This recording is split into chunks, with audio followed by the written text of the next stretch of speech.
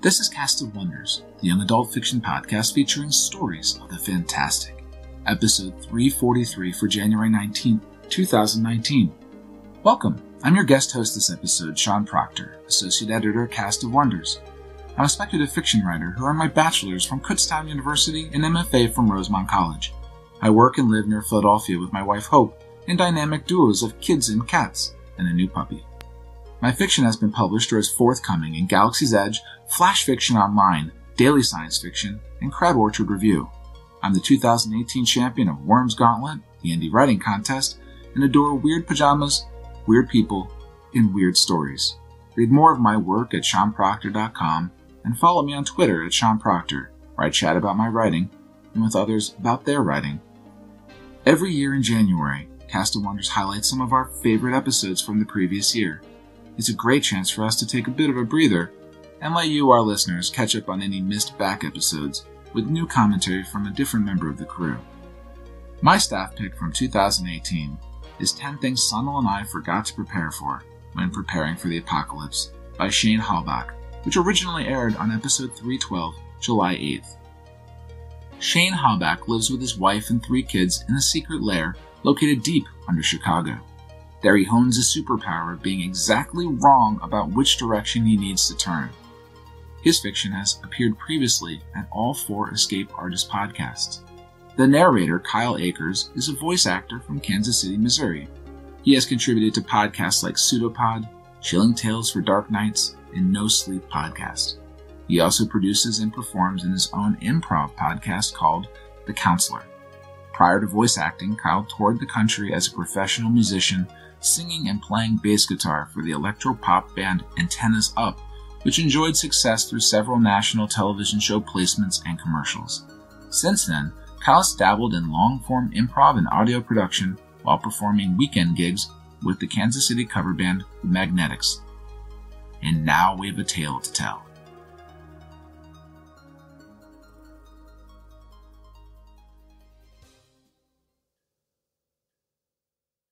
Ten things Sunil and I forgot to prepare for when preparing for the apocalypse.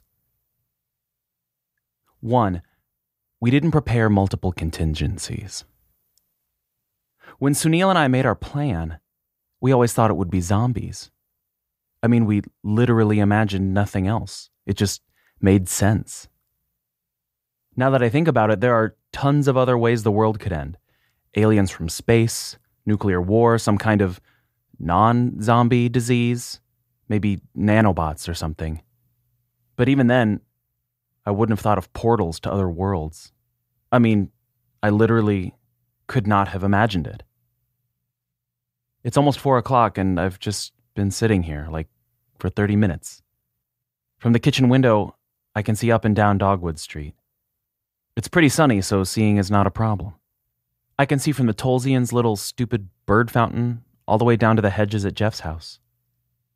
I see a thing, a monster. It's so big that I can't see above its knees. Even if I put my face right up to the window and look up, it's just walking along, maybe on Ash Street or something, shuffling through houses. I'm not even sure that it knows the houses are there. There are smaller ones too, like rhinos or dinosaurs or something bigger than an SUV. They're walking around pissed off, like they want to hit something, but they're literally so mad they don't even know what to hit. This one lowers its head and sort of roars and flips over the Sanchez's Odyssey. It's so loud I can't even hear if I'm screaming or not. All of it is so loud booms and crashes and roars and screams and glass breaking. I didn't think it would be so loud. I kind of figured that even though it's not zombies, the plan is all I've got. Mom and dad aren't home from work yet, and I don't want to be home alone right now. When I find Sunil, we'll figure out what to do. Even if our zombie apocalypse plan isn't a monsters coming out of portals plan, it's a plan, at least. Number two, we never made a meeting place. Whenever Sunil and I talked about our plan, we always figured we'd be together. That was kind of stupid because most of the time we're at home or whatever, so why would we think we'd be together during the apocalypse? I'm glad we have a plan. A lot of people probably haven't even thought about what they'd do during the apocalypse. So they've got no reason to stop watching monsters crashing through the Sanchez's house and stomping Mr. Sanchez into the driveway until he doesn't look like he was ever human. I grab my backpack and start tossing everything out books, notebooks, everything. Looks like I don't have to worry about ninth grade anymore. It's kind of hard because my hands are shaking so badly, but I start grabbing supplies. This part is in the plan two bottles of water and canned goods, as many as my backpack can hold peas, corn, and even some kidney beans. I grab the Tylenol from the medicine cabinet, and I almost forgot to grab the can opener, a rookie mistake. Finally, I go up to my dad's room and get his gun. We thought we'd need the gun for zombies, so I'm not sure if I'll still need it, but that was supposed to be my big contribution to the plan, so I'd better bring it. I keep the trigger lock on so it doesn't accidentally go off, but I grab the key from on top of the shelf in the closet. Dad only keeps one box of ammo because he's literally never fired even a single bullet. Since we don't have a meeting place, I'm going to go over to Sunil's house and meet up there. I look around the house, but I don't see anything else from the plan. Just as I'm leaving, I leave mom and dad a note so they don't worry when they come home. Mom and dad, stay here. Don't worry. Sunil and I have a plan. Once we get everything set up, we'll come back and get you so you can help setting up the gardens, etc. Love, Jason. I open up the front door. There's a sharp smell, like how a CFL light bulb smells when it gets burned out. I guess the smell is what happens when one of the portals crackles to life. It kind of looks like how it's supposed to look outside and kind of doesn't, but I can't put my finger on what feels different exactly. It's like everything is not quite in the right place. Like when mom cleans my room when I'm not home. I don't see any monsters at the moment, but I can't make my foot step out of the house. Then I think about all the times I was in a difficult situation and how much better I felt when Sunil was there, even if he didn't say or do anything. Once I'm out the door, moving is easy. I run and get my bike. I know there are no monsters over by the Sanchez's, so I don't need to look in that direction. I look straight ahead as I go by their driveway. The thing's legs I had seen earlier are over maybe by a park up behind Sunil's house.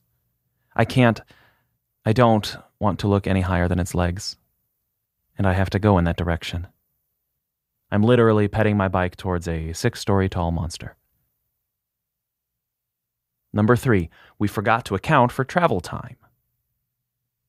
Sunil's house is not very far away, but every window of every house is an eye watching me, and anything could jump out from anywhere.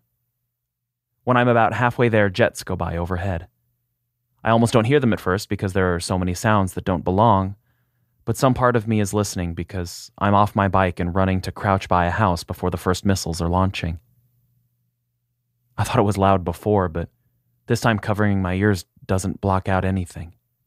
I don't know how long they're fighting. And now there are helicopters too, even though I didn't see them come in, because there's one spinning to the ground with fire and smoke coming out of the tail. I can't see the fighting directly, but when the monster roars, it makes my bones shake and my muscles tense up and my whole body until they hurt. I have to pee very, very badly. After a long or short time, the ground stops shaking. The neighborhood is quieter than before, although maybe there's something wrong with my ears. At least nothing is moving, human or otherwise. I don't see the big monster anymore, but I don't know if it's dead or just driven off. Seems too big to be dead, even from missiles. Somewhere, houses are on fire. It smells like a campfire. There's a house across the street, pale yellow and with three window gables like mine, that has bullet holes marching up the side big enough to put my fist in. According to the plan, Sunil and I should be securing the treehouse right now, building traps and fences, and making a nice, secure base of operations. I definitely need Sunil for that part. When I finally come around the corner to where Sunil's house is, I coast slowly to a stop. Sunil's house isn't there. Like, it literally is not there. The mailbox is still there, and the sign cheerily declaring the Patels, but where the house should be is just a long gouge through three consecutive yards. So, Sunil's not here. Obviously, he wouldn't stay here with his house just gone like that, so he must have left already. Maybe there are people crying close by and calling for help, or maybe not. My ears are still kind of muffled from the explosions. Sunil's stuff is probably scattered around. I should find it and gather it up for him, but he's probably following the plan, which means he's already probably waiting for me at the treehouse. Usually, when I ride my bike, my mind wanders. This time, it doesn't feel like it. Number four, we didn't think about a bathroom. Number five, we thought it would be fun. When I wake up, I can't tell if I'm shivering from the cold or from the dream where mom and dad are driving in the Sanchez's minivan and it gets stomped flat by a monster the size of a skyscraper. I guess I'll have to add blankets to my supply list. According to the plan, Sunil and I were supposed to stock up last night, but I was afraid to leave the treehouse in case Sunil showed up. I ate a whole can of peas for breakfast. I was going to eat only half, but once I got started, I couldn't stop cramming fingerfuls in my mouth. That made me realize how little food I actually brought in my backpack. It's not going to last very long. Blankets, spare clothes, a spoon. There's so many things we forgot to prepare for. Sunil and I modified the treehouse so that we could pull a ladder up, but I can't do it by myself. So I'll have to leave it down while I'm gone. I need my backpack empty for supplies, so I have to leave my cans of food unguarded. I unlock the trigger guard on Dad's gun and tuck it carefully in the waistband of my jeans, putting my shirt over it. Every time I move, it feels like it's going to fall out. I move it to the back so it doesn't accidentally blow my leg off. It's like holding a knife by the blade. Hypothetically, it's safe, but any careless move and it might hurt me badly. The plan says I'm supposed to go to the grocery store for canned goods, but I'm tired of the plan. I'm tired and I want to go home. I want to see my mom and dad and eat and not be freezing cold. This is not how we imagined it. It's only about two blocks from the treehouse to my house, but one of those rhino sized monsters is pawing around one of the houses. I think there are people inside, and it knows it. It's getting madder and madder and smashing around with these big tusks coming out of its jaw. It looks like it's getting ready to charge and just smash its way through the wall. Someone inside is screaming now. I go way around. When I get home, I bring my bike inside. Unfortunately, there's nobody here to complain about getting dirt on the floor. My note is where I left it, and I can tell nobody's been here, but I call out a few times anyway. Not too loud, though. It feels like the air is literally jello, and it takes a lot of force to get any sound out. I think about the lady screaming in the house down the street and the thing going wild trying to get her, and I don't call out anymore. I thought the apocalypse would be using my wits and coming up with clever solutions and being a hero. Instead, it's mostly shivering in a treehouse, trying not to cry in case the thing bellowing in the dark is closer than it sounds. It feels good to be in my house, even though it smells like smoke from the houses that are still smoldering. It's welcoming and comforting and, and just normal. Suddenly, I don't have enough energy to even make it to my bed. I'm just on my way over to lie down on the couch when there's a knock on the door. Hey, kid, calls a man. Come on out. We're going to get you out of here. I freeze, just staring at the door. Did I really hear that? Am I already asleep? Come on, kid, let's go. Before one of those things shows up. I walk over to the door and open it slowly. I want to run, to hide, to not open the door, but while I'm trying to make up my mind, my hands and feet have already done it. There's a soldier there, an actual soldier holding a machine gun and everything. In the street, there is a Humvee. I've seen them driving on the highway sometimes. Let's go. We've got transport to the evac center, says the soldier. No, I'm waiting for my parents. Your parents are at the evac center. Relief and hope flood through me. So much I'm dizzy for a second. The soldier grabs my arm and pulls me out of the house, shoving me towards the Humvee. Let's move, kid. We don't have all day. As I stumble forward, it hits me. My parents didn't send this guy.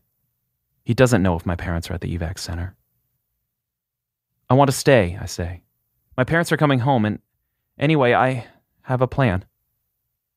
I can see the soldier has had it. He's going to throw me in the truck if he has to. Forget the plan. I know how this plays out. It's in every movie, every story. If I go to the evac center, I will never see my parents or Sunil again. I'm not going, I shout and try to run past the soldier back into my house. He doesn't hit me so much as push me really hard and knock me over. You little shit, he says, and he looks like he decided to hit me after all. I reach behind my back and pull out my dad's gun. Number six, we didn't think it would be hard to shoot people. Sunil and I figured we'd have to shoot lots of people. Zombies, of course, but also raiders and street gangs and whoever else wanted to get our supplies in the treehouse. You could say shooting people was part of the plan. The soldier reacts as soon as I have the gun. Shooter! he shouts, probably to the other soldiers. Everything is happening fast, but taking forever. The soldier is putting his hands up, but also shrugging his shoulder around, so his machine gun swings up to the front. There's probably other soldiers, and they're probably reaching for their guns too. I can't let him take me away from my home. Shooting people is part of the plan if they're taking our stuff. The plan is to stay here. I don't want to shoot him. He's not a zombie. He's probably not even a bad guy. He wants to help me. He's the first living person I've seen in 24 hours. I squeeze my eyes shut, point the gun, and pull the trigger. Click. Dad's never fired a single bullet.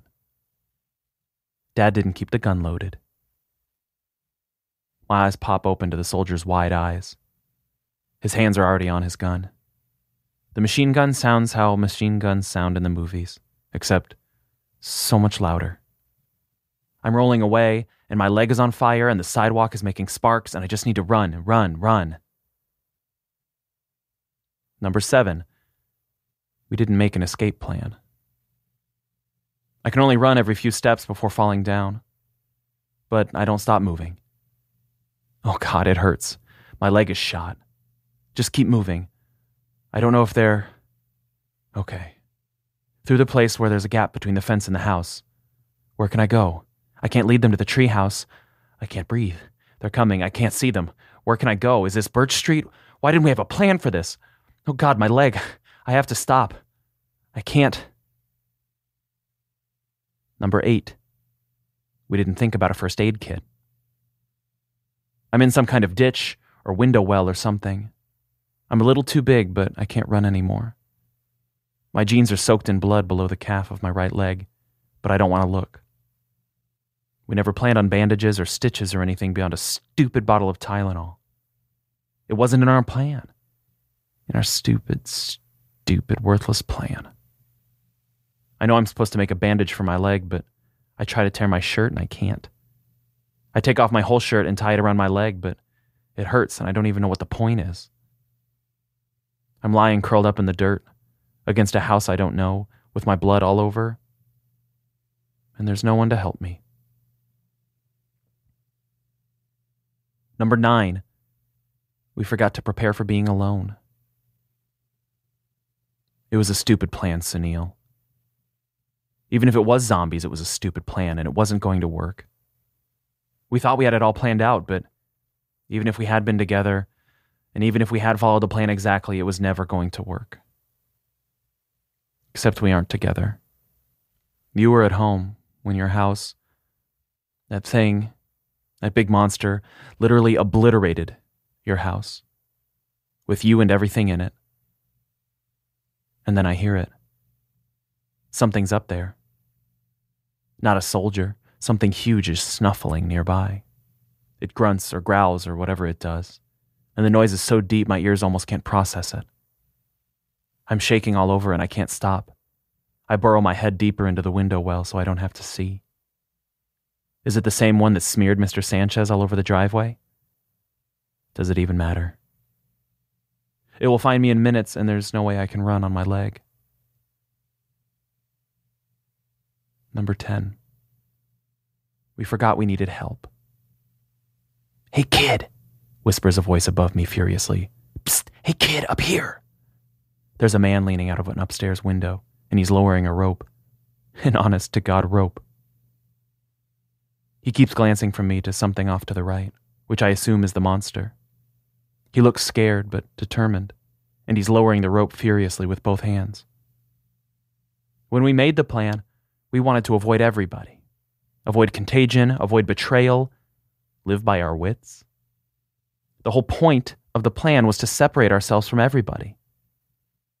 And if this man doesn't help me, I'm dead. As I wrap the rope around my hands, I realize something. You can't make a plan for when the world ends. You can't hole yourself up or wall yourself off. That never works. Not even in the movies. It's when you stop thinking that you've got it all figured out, when you start seeing what is instead of what you want it to be, that you realize you have options. I don't know who this guy is. I don't know if Sunil's dead or if the soldiers will be able to stop a six story high monster or if I'll ever see my parents again. But I do know that I can't be prepared for everything that's going to happen next, and I can't do it by myself. Sometimes you have to go against the plan. Sometimes you have to accept a rope from a stranger.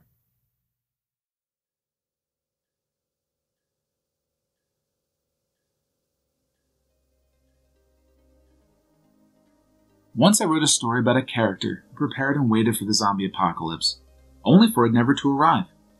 In the case of Shane Halbach's story, the character is prepared for the totally wrong ending of the world. It's sometimes funny, sometimes scary, but the thing that caught me right off about this story was the voice.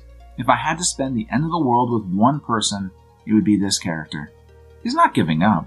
He's not surrendering to the half glimpsed giant portal monsters and becoming a tasty snack. There's a feeling like despite the whole world going to pieces, this kid has a plan. It's a wrong plan, and it's got serious problems, but it's a plan. Then there's a humanity in accepting he had so much wrong, and that ultimately, the rope he's dangling from is held by someone else. Someone he doesn't know, someone he will have to trust more than the plan. And that's okay too. We don't know whether things turn out okay, but by leaving us with that image of him on the rope I have to believe, odds be damned, the world was somehow saved. And that gives me hope. Join us next time when Alicia presents their favorite. We love bringing you the best audio fiction week after week, but we can't do it without your support. Your donations pay our authors, our narrators, our servers, and our staff. Please consider supporting us with a monthly donation through either PayPal or Patreon. You can also review us on iTunes, request us on Spotify, and consider the stories we publish for award consideration. There are lots of ways you can help. Join the discussion on the EA forum, forum.escapeartist.net, or visit us on Twitter at Cast of Wonders, and come say hello.